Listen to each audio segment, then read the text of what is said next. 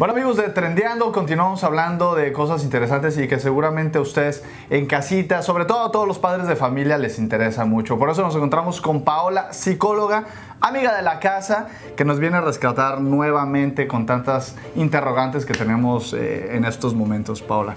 Eh, bueno, estuvimos la semana pasada hablando un poco acerca de la masacre, de la gran tragedia que, seguimos, donde seguimos todos conmocionados alrededor del mundo, ¿eh? no, no, solamente la gente que vive aquí en, en los Estados Unidos o en Miami.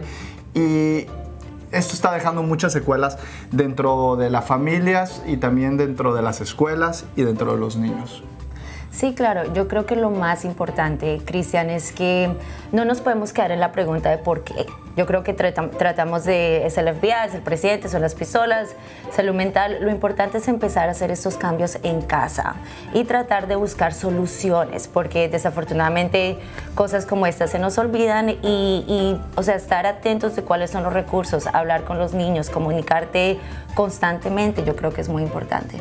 Siguen ahí los medios de comunicación y las imágenes rodando por todos lados. Obviamente todos los niños de esta escuela, de esta comunidad, eh, han sido muy afectados pero a través de los medios de comunicación que son tan virales, pues todos los niños de todo el mundo también están siendo afectados. ¿Cómo saber o identificar si nuestro hijo o nuestros hijos han sido afectados, si debemos abordar el tema o si tal vez es que hay cosas que de repente uno lo trata de abordar demasiado a prisa, con demasiado desespero, y tal vez los niños ni siquiera se han fijado o tienen este conocimiento de lo que está sucediendo. Claro, gran pregunta. Una de las cosas primarias, como dices, todos estamos viendo en estos videos, yo creo que es importante primero limitar las noticias, no solo para el niño, pero también para los adultos.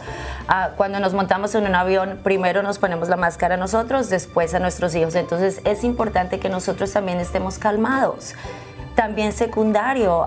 yo creo que es importante, tú sabes, hablarles un poquito abiertamente del tema. Si vemos un cambio drástico en apetito, en dormir, se están aislando. Claro, naturalmente de pronto esto va a pasar después del evento, pero si esto sigue pasando, ahí queremos estar un poquito atentos, que si hay un cambio drástico en su comportamiento, en su apetito, están durmiendo mucho, no están durmiendo suficiente, ahí queremos más o menos empezar a hablar un poquito más del tema y conectar a un psicólogo local, a una persona que nos pueda ayudar con esto. Bueno, hablando un poquito también de eso, los videojuegos, eh, creo que pues durante muchísimos años siempre hemos venido viendo el incremento de la violencia en los videojuegos, eh, qué tan importante es para nosotros como padres pues sí empezar a limitar eh, pues todo este tipo de uso de, de, videojuegos, a qué edad ya pueden empezar a utilizarlos o jugar estos jueguitos que son de matanzas precisamente, de uso de armas, cómo controlarlo.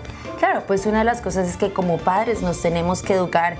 Cada videojuego trae, o sea, 18 años, o algunos videojuegos tú nada más los puedes empezar a utilizar a los 18 años. Muchas veces el niño lo pide para Navidad y nosotros lo compramos sin saber cuál es el contenido.